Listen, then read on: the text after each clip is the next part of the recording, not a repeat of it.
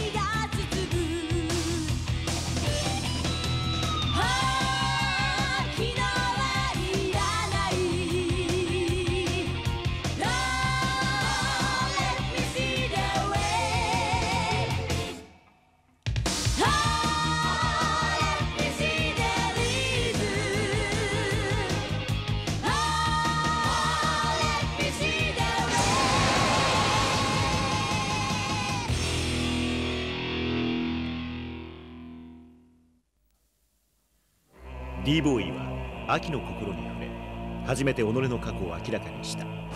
父構造の手によってただ一人ラダムの精神支配を免れた相葉隆也。D ボーイはラダムの侵略から地球を守るためにテッカマンとなった肉親をその手で倒さねばならなかったのだ。だが D ボーイにはさらに悲しい運命が待ち受けていた。どうしても伝えなきゃいけないことがあって私が死ぬ前に。死ぬってミユキ。私は私はお父さんと同じ。排除された不完全なデッドマンなの。うわ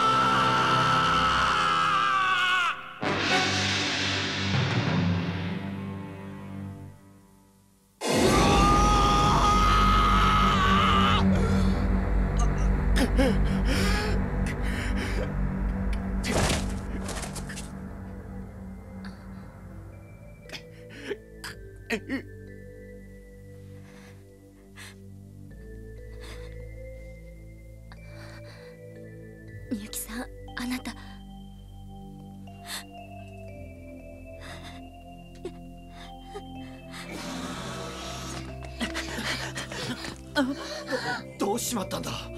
ディボイ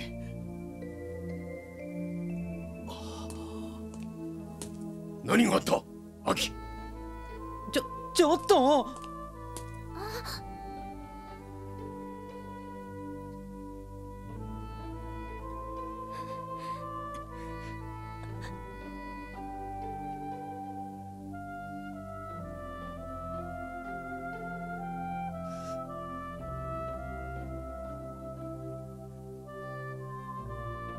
スペースナイツの皆さん私はラダムの秘密を皆さんに伝えるためにやってきました。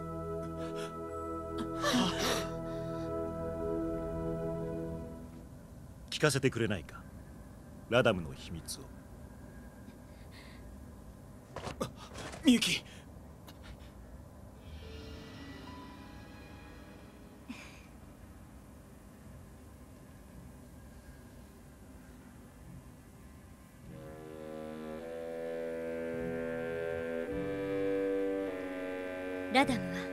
地球を自分たちに適した環境に変化させるためにラダム樹を繁殖させています。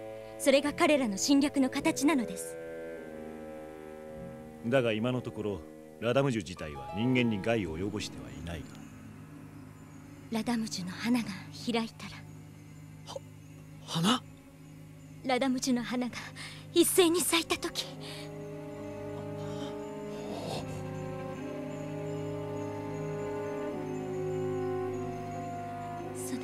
球は。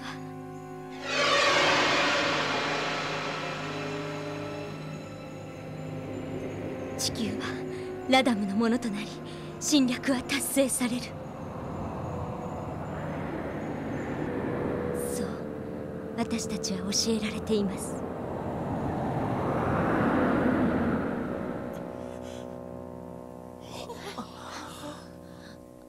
ララダムめ。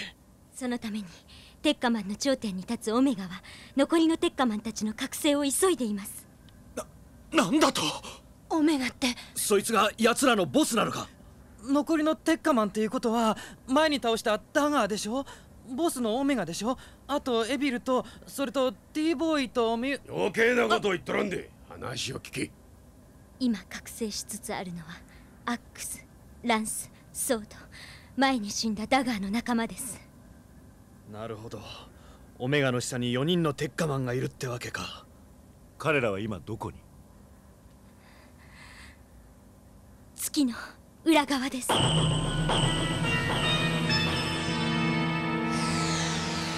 裏側にラダムの基地が。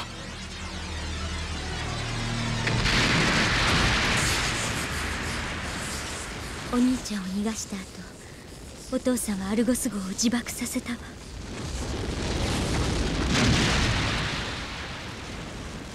そして爆発のショックで制御不能となったラダムの船は月の裏側に不時着して。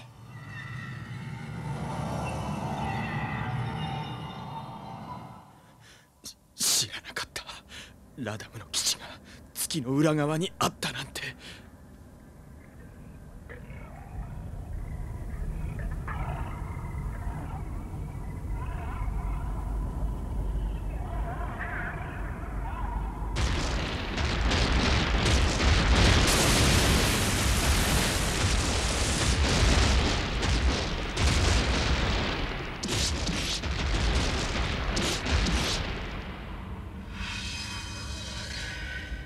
アックス、ランス、ソードよお前たちの覚醒を心待ちにしていたぞ。お前たちはオービタルリングに待機しているエビルと合流し裏切り者テッカマンブレードを葬り去るのだ。はい。はは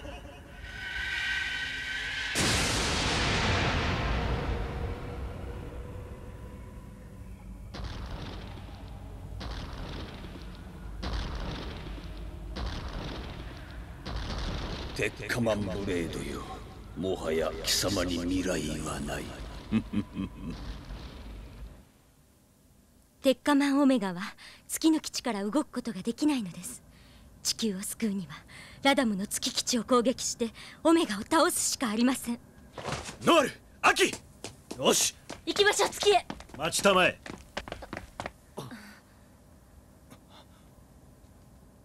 月面ラダム基地への攻撃に失敗は許されない。軽率な行動は控えたまえ。ななんだって？そんな。月基地への攻撃オペレーションをシミュレートする。それが完成するまでは月基地への攻撃はしない。ミリ準備を。ララサ。あ D ボーイ。俺は出撃する。作戦など必要ない。俺はこの手でみゆきを不幸にした奴らに復讐するんだ。勝手な行動は許さん。お兄ちゃん。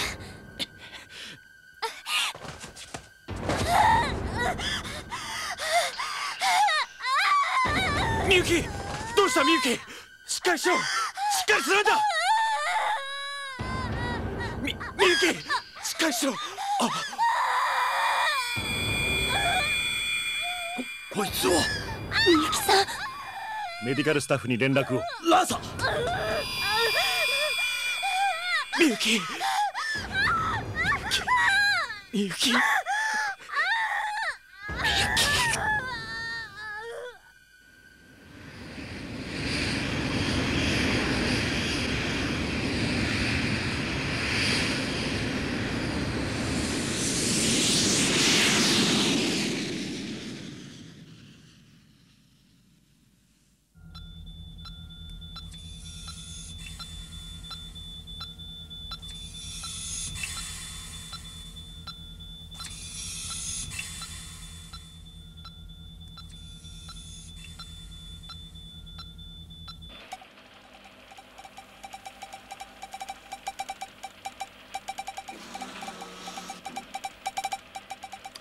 少し休んでお茶でもどうだい？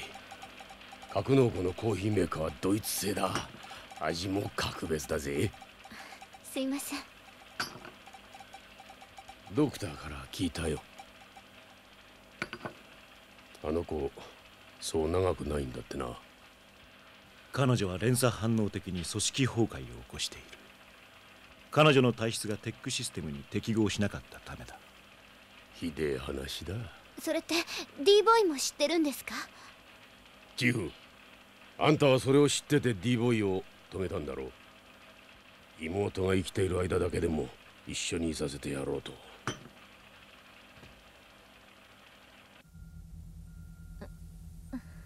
みゆき大丈夫か？何か私たちにできることない？海が見たいな。海？子供の頃お兄ちゃんたちと遊んだ砂浜。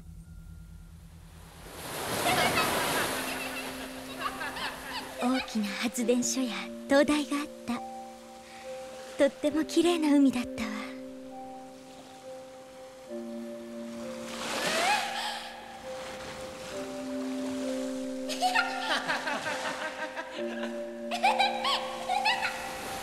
行 こ海体の具合がいいのなら今すぐにでも。体なら心配しないで。でも夜が明けてからにして。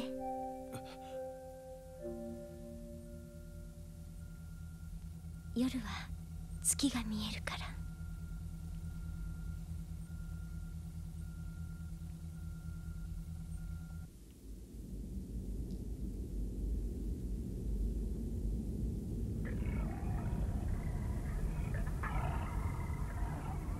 待っていたよ。アックスランスソード。俺の傷もあとわずかで癒える。待っていろ。鉄火マンブレード。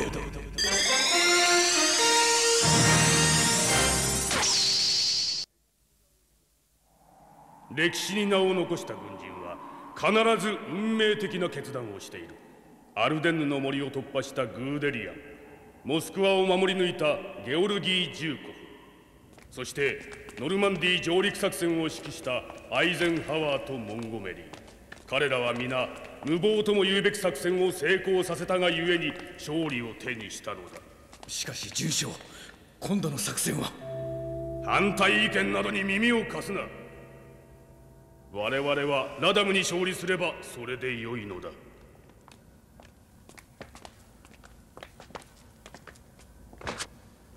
我々に勝利をもたらす女神新開発の超高分子フェルミオンミサイルだ。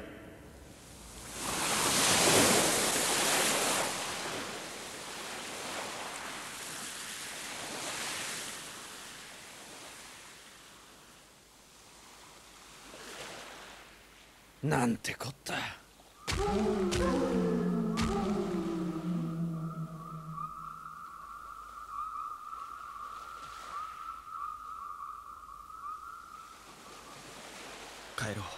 みゆきいいのよお兄ちゃん。たとえラダムジュに侵されていてもやっぱりここはお兄ちゃんとの思い出の場所だもん。少しでいいからね歩こう。ああ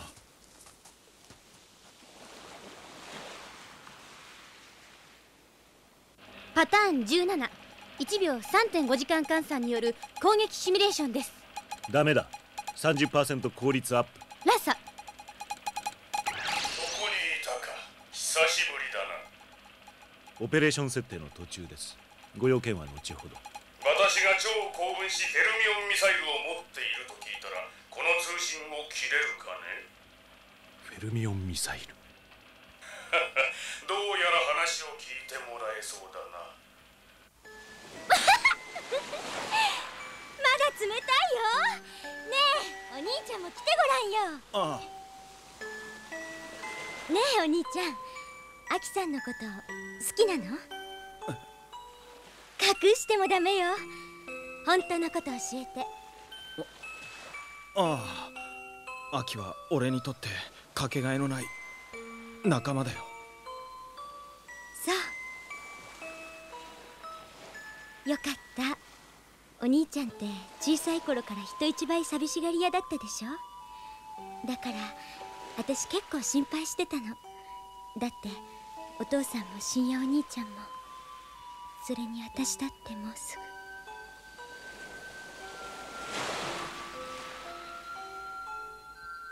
でも安心した。アキさんみたいな人がいて。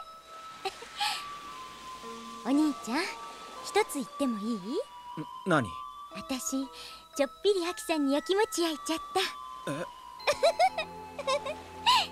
嘘よ。冗談冗談 何話してるんだろうなあの二人。無茶だ。オービタルリングにフェルミオンミサイルを撃ち込んだらどんな事態を引き起こすか知らんとは言わさん。もちろんだと。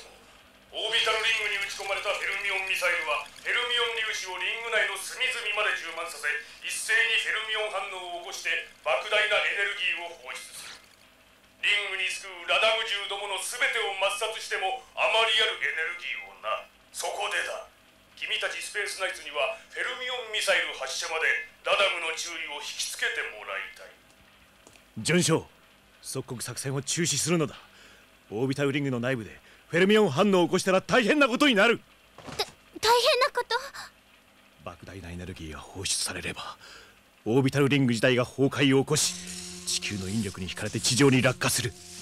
もしそうなれば赤道周辺は壊滅し数億という人間が死ぬことになるんだぞ。全人類の未来を救うという作戦だ。数億の犠牲など小さいものだ。ひどい。何？軍ってそんなに偉いんですか？人の命を天秤にかけるほど偉いんですか？命に大きさなんてありません。代わりなんてありません。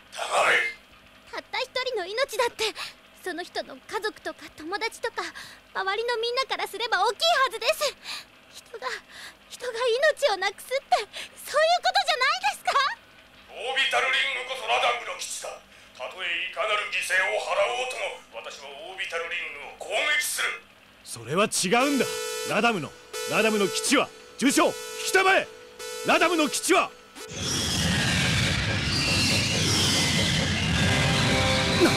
基地がラダム銃の襲撃を受けているわわ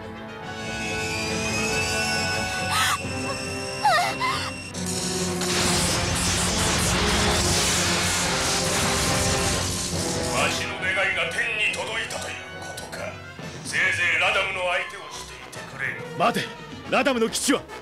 待てコルベット。いかんフェルミオンミサイル発射準備せよ。はっ。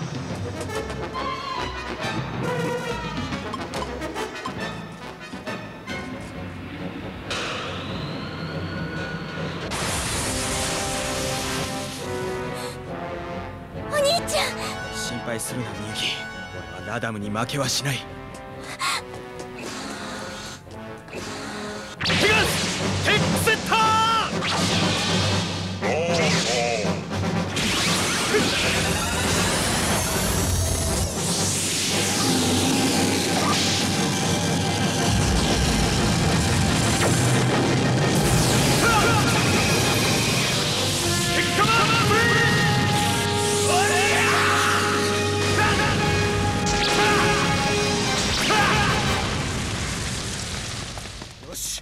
ソルテッカマンで出るぜ。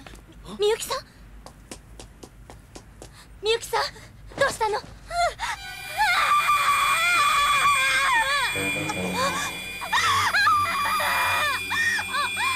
兄ちゃん！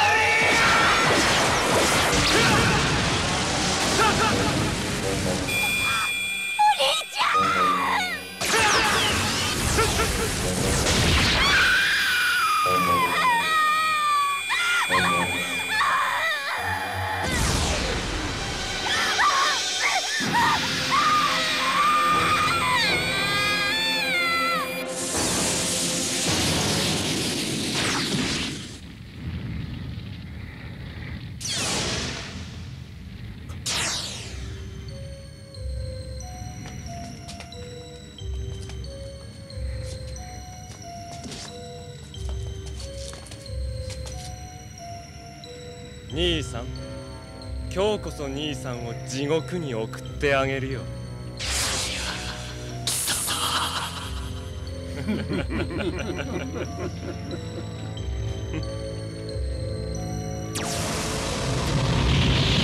様